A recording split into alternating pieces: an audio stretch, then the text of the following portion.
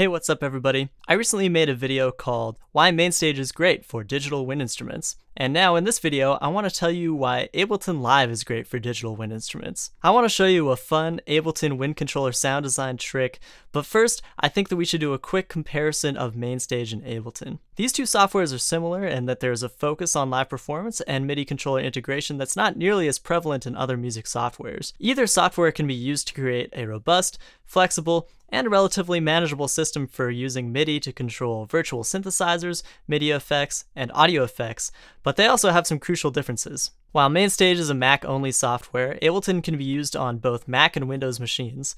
MainStage isn't really designed to do anything other than facilitate live performances, while Ableton Live is also extremely capable of multi-track recording, mixing, and editing. This is what drew me to Ableton after spending many years with MainStage.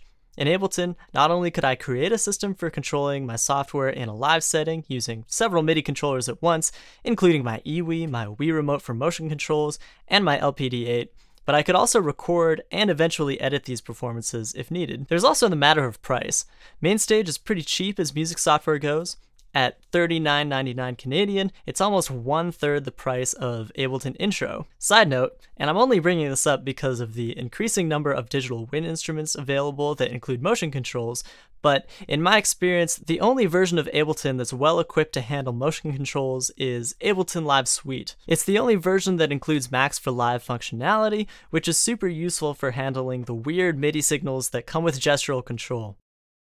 MainStage on the other hand, is really good with motion controls. But this video is not about MainStage, it's about Ableton. And now that we have the comparison out of the way, it's time for me to show you that fun and useful sound design trick that I mentioned earlier. So Ableton, like most music software, comes with a bunch of virtual synthesizers, which you can find in the Instruments category in the side menu. These virtual synthesizers come with a bunch of presets that are categorized in a bunch of different ways. Today, I'll be focusing on the lead presets, as I find that these are the most compatible with digital wind instruments. By the way, some of these virtual synthesizers work a little better with digital wind instruments than others. Collision, drum synth, impulse, and tension are all geared toward creating more percussive sounds. While it's totally possible to emulate percussion instruments on a digital wind instrument, it's not really what they were designed for. For what I'll be showing you in this video, I recommend analog, bass, operator, poly, sampler, and wavetable. So if we go over here to the sidebar, open up instruments,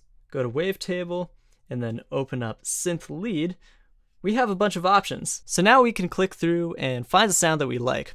I recommend using one that's pretty much the same from the beginning to the end. This one's pretty good. This one's pretty good too. This one's pretty good too.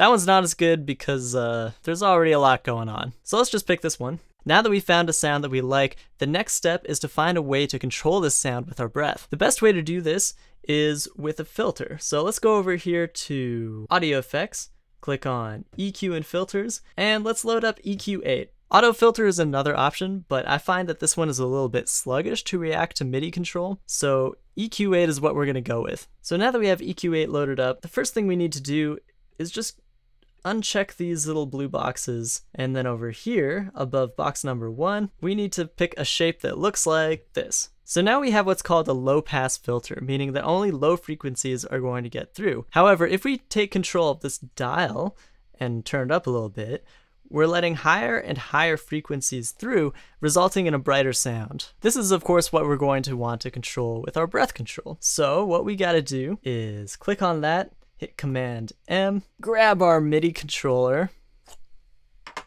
and then just blow into the mouthpiece. You should see a pair of numbers appear on the top right corner of this dial, and then some information should be filled out over here. Make sure that it says something like CC number 2 or maybe CC 11 and not something like pitch bend. If you find that you've accidentally mapped pitch bend to it or something like that, just delete it and start over. So if that's all good, hit Command M again, and now EQ8 should react to our breath control.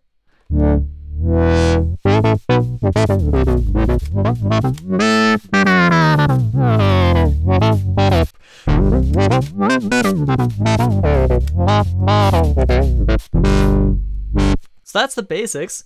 Um, and the really cool part of this is that now that our breath controlled EQ is set up, we can just delete this and replace it with any other sound that we want to try out.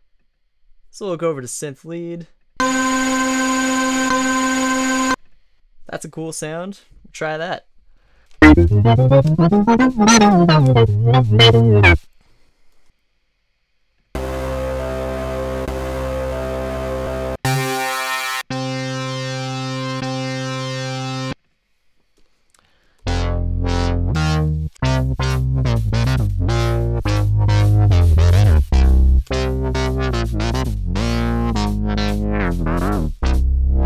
So there's so many cool sounds in Ableton Live to check out. A good way to find them is actually to go to Sounds and then go to Synth Lead, and this will show you all of the Synth Lead presets that belong to all of Ableton's different instruments.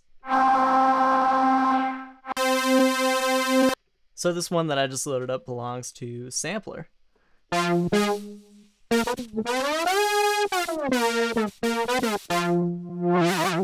So that's pretty much the basics. The next step I think would be optimizing the sound for our instrument. In most cases, I find that the thing that I need to adjust to be happy with the sound is glide, sometimes referred to as portamento. When glide is enabled, it affects the amount of time that it takes the synth to slide from one note to the next. I find that having a little bit of glide is great for disguising any imperfections in my playing technique. Going through each of Ableton's virtual synthesizers and showing you how to adjust the glide rate is a little bit out of scope for this video. If you're interested in doing this, I would suggest suggest taking a look at the live instrument reference section of the Ableton Live manual. I'll save you a little bit of time though by telling you two things. One, glide only works when the synthesizer is in mono or legato mode, Two, only these four virtual synthesizers have glide parameters that work well with digital wind instruments, in my opinion. That's all for this video. I hope you found it to be helpful and interesting, and that you now know how to use the stock Ableton presets with the breath control capabilities of your digital wind instrument.